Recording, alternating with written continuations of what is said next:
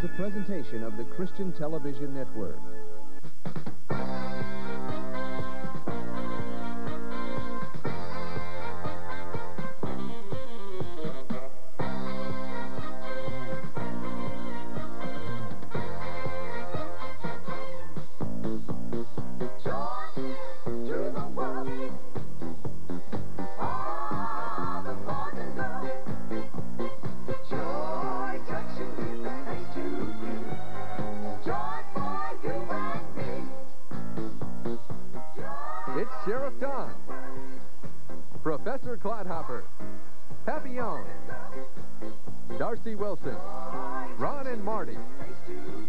Whittler Dan, Sarah Edens, and Deputy Les. Come and join us for a half hour of fun and games at Joy Junction. Now here's Sheriff Don. Hello and welcome to Joy Junction. I hope you're feeling good today and you're in for a good time, nice games and a lot of fun, and also learning something important from the Bible. So let's meet our first two contestants right away. For the blue side, we have My name is Tara Iceberg. My age is 10 and what grade are you in, Tara? 4. Fourth grade? Uh-huh. Good. Where do you go to school? First Lutheran. What do you like to do in your spare time, Tara? Play my flute. How long have you been playing on the flute? One year. Good, good. Do you have a band at your school? Yeah. And you play in that band? Uh-huh. Very good. What's the first subject you have in the morning? Religion. Good. And what have you been studying lately? I forgot. You forgot. Aha. Don't let your teacher hear that, okay? We'll take that back. Good. We just took it back. All right. And uh, what is your name? Gouger. And you're how old? 10. I'm in 5th grade. I go to First Lutheran. Good, good. How do you like school? It's okay. What's your last subject of the day? English.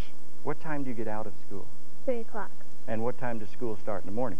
8.20. So what? I'm asking you a lot of questions. Huh? What time do you have to get up in the morning to get to school by 8:20? Well, usually I get up at 6.30. Do you get up real easy? You just pop out of bed and ready to go? No. No, there's that honest person, right? Who likes to get up early in the morning? But something we all must do. All right, we're ready for our first contest. Deputy's got it all set up in the street. And while we get them ready, you look and see what nice awards they'll receive today. Each contestant will receive a beautiful full-color T-shirt to remember their exciting visit to Joy Junction. Today's winners will receive a beautiful Joy Junction watch with the letters PGF to remind them that it is always time to put God first. Back to you, Sheriff Don. All right, girls, you're ready. Your partners are seated here and ready to wind in the balloons. You see, the street is full of balloons, red and blue ones, and we want you to break them as your partner turns them up. The one who gets all their balloons broken first will get 20 points. So are we ready? On your mark, get set, begin winding, boys. Here they come. Pull it. Turn. Watch your string. Watch your string. Oh, there they go. Bring it on. Bring it up.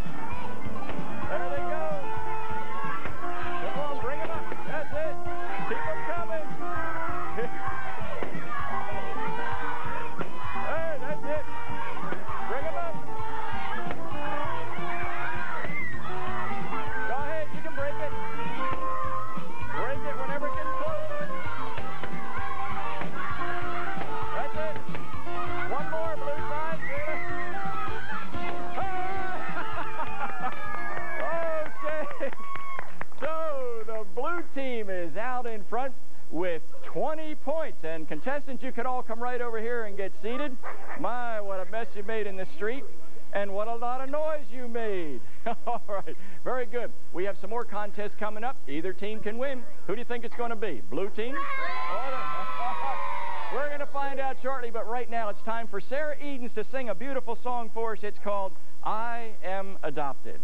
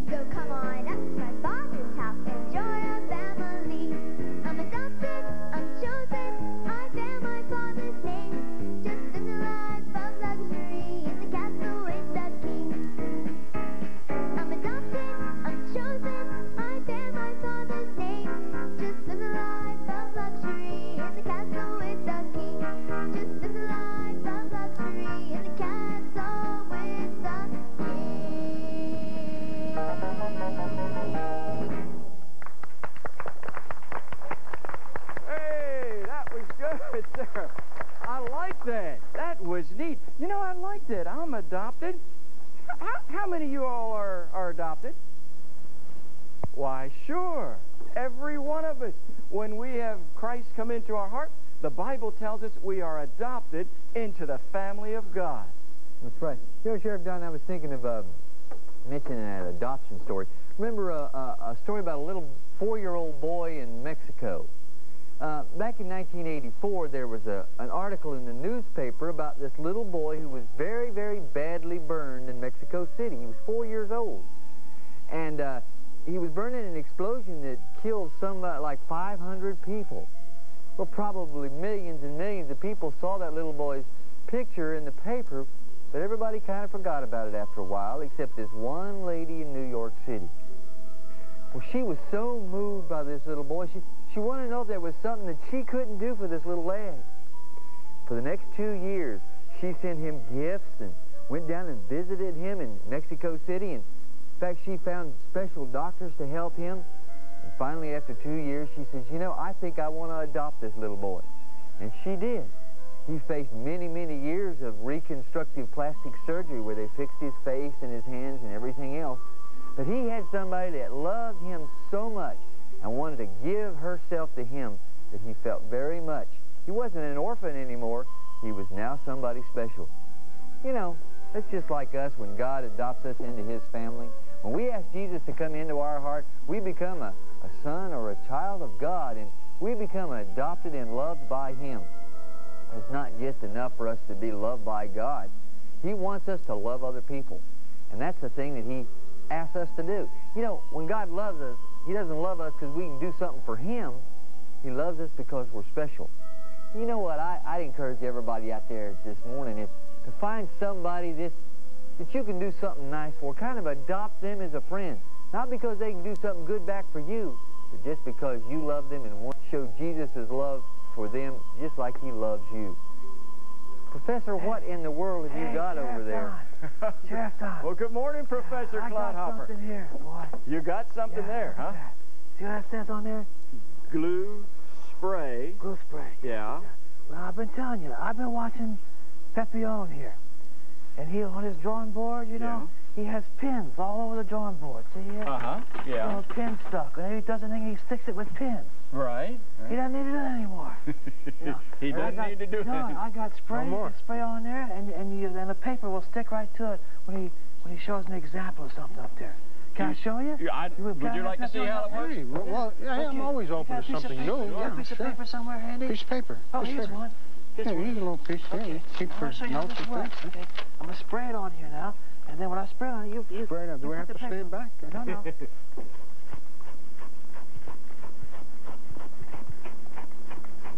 okay. Okay, see something, something Yeah, up there. it's coming Something's out. happening. I put the paper up there. Okay. It should come out. See? Hey, whoa. Look at What do you know about that? Hey. And uh, you call that spray glue, Hey, huh? See, look at it. Oops. Gosh, it's, It, all, it's over. all over the place, but at least it works. Yeah, it works. that's, that. Yeah. that's really great. That's, Yeah. that's almost like the stuff that I use, you know. What stuff do you use? What do you say? Oh, well, uh, I mean, not to, you know, that that's nice. I mean, stay, hey, that's good. In fact, see, every once in a while when I need a, you know, piece of Uh-huh. paper to glue, stick on there, I just take and, you know, use this thing here. It's already compressed, and you give it a little whiff like that, and Yeah. And it, you know, it sticks. What's Yeah. that? Let me see that. That's it's a glue Adhesive. I adhesive. never seen that before. Oh well, Uh, you could huh. keep that maybe for some of your other work. You might take Yeah, that with you. adhesive. Spray Uh-huh. adhesive. Well, Yeah. I didn't know that. I don't Oh. need this then. Oh, wow. Well, that? Professor, Well, thanks, okay. thanks for working on that anyway. Oh, yeah. We appreciate that. And it's time now to meet our next two contestants. So come on right up here, contestants. Remember, the score is 20 to nothing right now. The blue team does have the lead. We'll see how long that will last as Deputy Les gets ready to bring in the next game here. All right, let's meet our next contestant for the blue team. What is your name? My name's Derek Robinson. I'm in fifth grade and I'm 10 years old. Good. And uh, how do you like school? It's pretty good. What's your favorite subject? Science. Uh-huh. Do you have any brothers and sisters at home? Do you? How many? Two brothers and two sisters. Well, family of five. Where do you fit in age-wise? Are you the youngest, the oldest, in the middle? middle. How, how young is the youngest child in your family? About 13 months. 13 months. My goodness, how, boy or girl? Um, boy. A boy, and what's his name? Kyle. Good. Why don't you just look into that camera and just wave and say, hi, Kyle? Hi, Kyle. There you go. Say, be good, Kyle. All right. Good. And let's meet your opponent over here. What is your name? My name is Robbie. I am nine years old, fourth grade. And how do you like school? Well, it's okay. it's just okay, huh? What's the hardest subject in school? Um, I don't know. That you do them all pretty easy? Yeah. Good. Do you like sports? Yes. Which one do you like best? Baseball. What do you like to do in your spare time then? Play baseball? Yeah. And what else? Basketball. You like to swim? Nah. Or skis? No. No? Mm-mm. What else do you do in your spare time then? Mostly, mostly sports, huh? Yeah. All right, good. What's your favorite thing to eat? Steak. Oh, boy. Expensive little guy here, I'll tell you. All right, we're ready for our next contest. Step right up here, boys. And Deputy, let's bring it right in here. And let's tell them what they've got to do. All right. This is called what? Me and my dad? Yes, sir. They gotta move their their fathers, match them up with their sons on this Okay, left side. there move the fathers fathers around. sons that need to be matched up, okay? So we want you to see how quickly you can match up father and son, how many you can get right in just a little more than a minute's time, and it'll be worth 20 points. On your mark, get set, go! And you can help them out here. Holler and help them. They, you can yell. That's it. Give them some...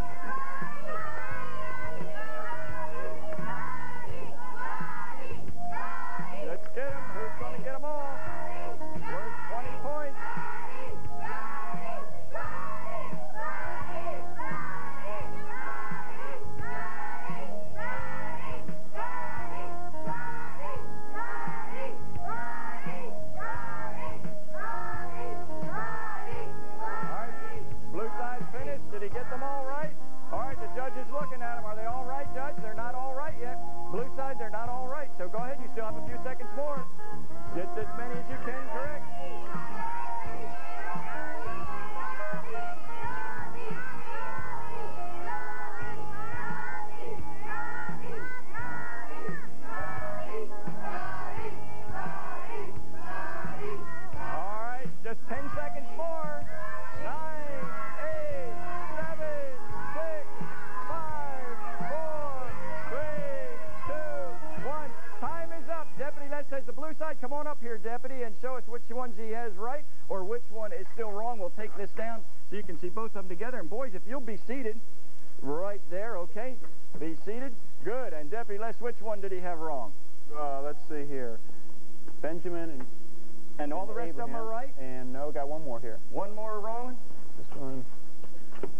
there. Jacob and Benjamin, we go. Abraham and Isaac, and now they are all There. right. And that is the blue team got most of them right, so let's give the blue team 20 more points and give them a nice hand. All right. Joy Junction will be right back.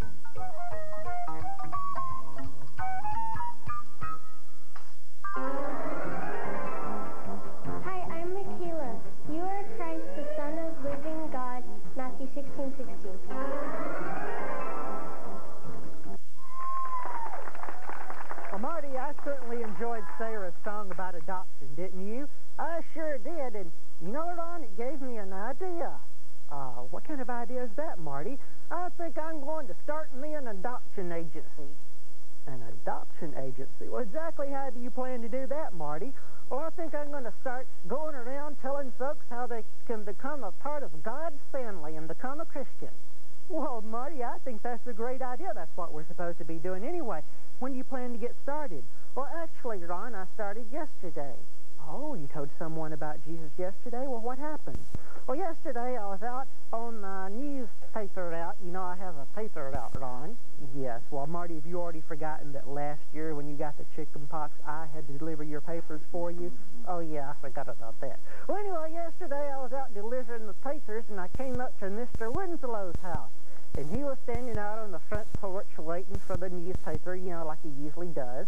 Yeah, yeah, I know he's always out there. And when he saw me coming up, he said, Marty, are you bringing me more bad news today? Oh, he was making a joke about all the bad news in the paper, huh? Yeah, and I thought to myself, hey, here's a chance for me to talk to Mr. Winslow. So what did you say, Marty? I said, no, Mr. Winslow, I'm bringing you the best news in the whole wide world. I bet that got his attention. It certainly did. What did you say, Marty? Well, we got to talking, you know, about things, and I said, Mr. Winslow, do you know that Jesus loves ye? And what did he say? He said, well, you know, he kind of stuttered around a little. He said, Marty, we're all God's children, you know. Well, I've heard a lot of people say that, Marty, but you know, really, the only people who can say they're God's children are those people that have accepted Jesus Christ as their Savior. Well, anyway, what did you say then? I said, Mr. Winslow, did you know that Jesus died on the cross to save you from your sins? And all you have to do is invite him to come into your life, and he'll forgive you, and you can become a part of God's family. Well, what did he say to that, Marty? Well, we got to talking, you know, and he didn't invite Jesus to come into his heart, but he, he did say he might come to church. Well, that's good, Marty. You know, you see Mr. Winslow quite frequently, so you'll have a chance to talk to him again. Don't worry about that. And I wish you the best with your new adoption agency, okay? Sure thing. Everybody, hey, everybody. I said, everybody, look over here. Now that I got your attention, Mrs. Peterson wants to show us something she's making. I sure do, Professor. I have a fun recipe with peanut butter, Oh. celery, Good, that looks good. and even raisins. You know, our body is the temple of the Lord, and we should take very good care of it. Right, And so right. when we want a snack after school, we Uh-huh. should try something that tastes good Right. and is healthy for us, too. This is a special recipe because Sarah shared it with me, and it's called Ants on a Log. Ants on a log. Boy, that is See? neat. Look at that. The raisins Peanut look like ants. And celery with raisins on it on top. Sure is. Right, You know, and I like apples, but they kind of get boring after a while. right. So, This is very nutritious, too, isn't it? sure is. Right. Peanut butter has protein in it. Yeah, it. we don't need all that junk food and stuff. We need nutritious food in our bodies, right? So I add peanut butter to my apple. Would you like Right. to try one? Yes, thank you. Oh, that looks good. Professor Clodhopper always seems to find his way around good food, doesn't he? Isn't that the truth? Isn't that That's the truth? good stuff to eat, though. Well, hello, Pastor Wilson.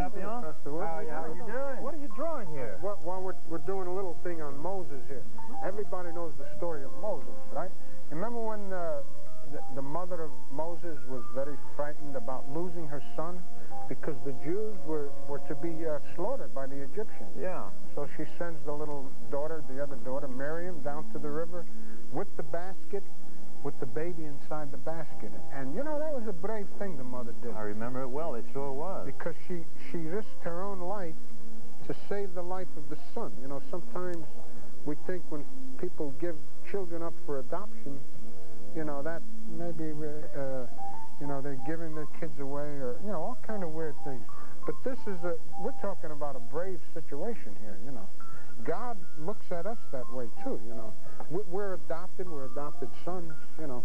In fact, God says when we don't have a, a father, he said he'll be our own father, you know. Yeah. In fact, I like that song that Sarah was talking about.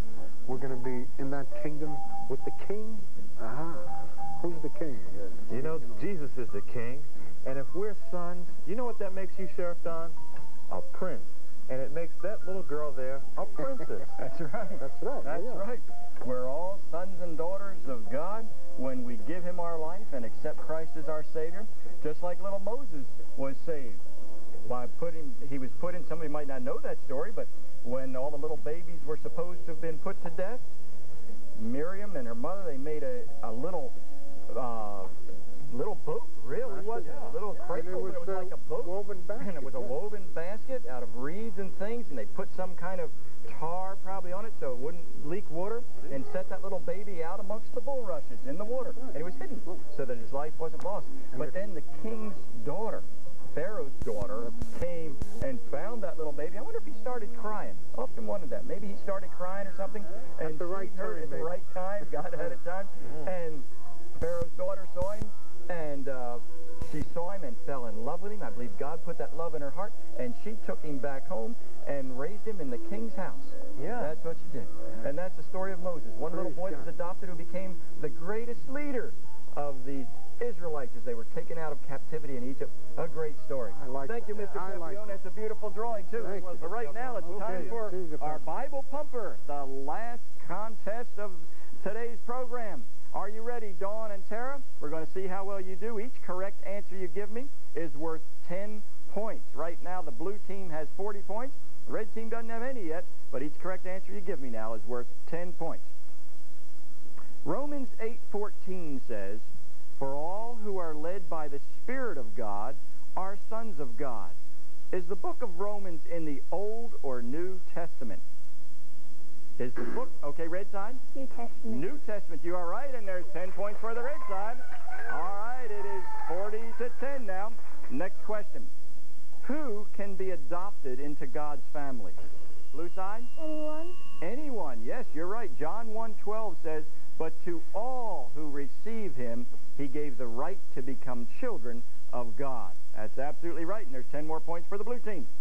Ephesians 1.5 says, God had a plan from the beginning to adopt us into his family. What was that plan?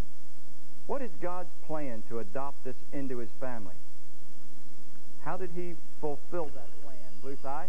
To um, send Christ into our world, and then he died for our sins. You got it exactly right. It says in Ephesians 1.5, his unchanging plan has always been to adopt us into his own family by sending Jesus Christ to die for us. You got it exactly right, blue side. That was a tough question.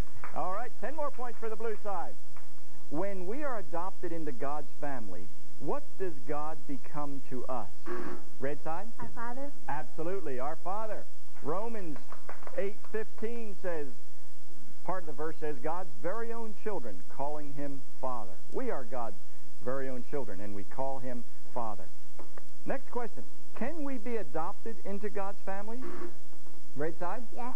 Absolutely. Galatians 4 5 says, so that God could adopt us as his very own sons. The score is now 60 to 30. Blue side, you're still ahead. Mr. Pepione just told us a little story, if you were listening, and I hope you were, about a baby that was adopted by Pharaoh's daughter. Can you name the baby? Red side? Moses. Yes, you are right. That was an easy one. What? It was Moses. Our score is 60 to 40 now. You're doing good, Red. Catching up. I want you to fill in the blank. If you think about it, you'll be able to do it. 2 Corinthians 6.18 says, I will be a blank to you, and you will be my sons and daughters. Red side? Father. Father, yes, you are exactly right. I will be a father to you, and you will be my sons and daughters. That's what God's Word tells us. Want you to fill... oh, you're fast, red blue side, I'll tell you. Want you to fill in this blank. Except a man be blank, blank, he cannot see the kingdom of God. Two blanks to fill in. Except a man be blank, blank, he cannot see the kingdom of God. All right, those words, red side? Born of? No, almost. You've got half of it, but I can't give you any points. It's born again. Except a man be born again, he cannot see the kingdom of God. All right, our last question, unless we have a tie. How can we be born again and become a child of God? Blue side? Um, to um, listen to his word and be good to him and serve him and pray. Okay, that, then can you give me just a little bit more? Um, we should listen, and God loves us, and we love him. Okay, but we must really accept him, repent, and turn from our sins, too. But we'll give you points for that because I think you're already ahead anyway, just by 10 points, I think the blue side was. Now it's 70 to 50. Let's hear it for the blue team. They are the winners. All right. Very good. So the blue team will win those nice Sheriff Don. awards. And Sheriff Don, Pastor Wilson, I've yes, got a sir. question for you. You got a question for me? Yeah, what oh. do, what do boys and girls mail away to Joy Junction for? Oh, they write to join the club, the mailbox, The Mailbox Club. That's right. It's a great way for the kids to learn God's Word a little more. They've got uh, wonderful Bible stories in here, questions and answers. I'm telling you, you can learn the story of God through uh, the salvation which God offers us through salv- uh, through Jesus Christ. Right. And- all what we've been talking about, how to be adopted into the family of God, how to become- is in that story. That's your, or in all our lessons of the Mailbox Club. And all you have to do is write right here, the address on your screen, write to Joy Junction, P.O. Box 6922, Clearwater, Florida 34618. Join the Mailbox Club. We'll send you a lesson. You'll fill out all the answers, mail it back to us. We'll grade it, send it back to you at the next lesson. Then pretty soon we'll give you one of these beautiful certificates after you finish a series of lessons that will you can hang up in your room and uh, remind you that you've done a real good job in studying the Word of God in the mailbox club. But it's free, so join. Just send us your age and your address and your name, and we'll send this to you right away, okay? And Deputy Les, what are you frantically waving to me about? I forgot about the pad. Oh, oh, send that to him too. You're, you're right. Thank you very much. And all those who join the mailbox club will be sent this free, neat pad. A lot of pages in it, and it reminds you to put God first. first. And that's what we talk about on every program. Proverbs 3:6. In everything you do, put God first. So you can hold that, Pastor, and thank you for reminding me about the mailbox club. But it's important to join and learn God's Word. If you haven't been born into God's family, you know you're not adopted by God. For the Bible tells us that we have all been born in sin and that we are of our father the devil.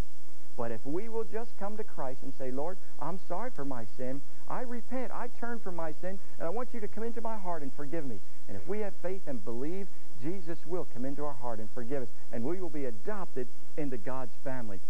All have sinned, the Bible tells us, and come short of the glory of God. And we are separated from God. Until that time, we come to him and say, Lord, forgive me, and come into my heart. And then we become a child of God. We become adopted into God's family, and then he becomes our Father. Will you do that? And write to us and let us know, and we'll be praying for you. Always remember that PGF reminds us to what? Put God first, kids, and we'll see you next week.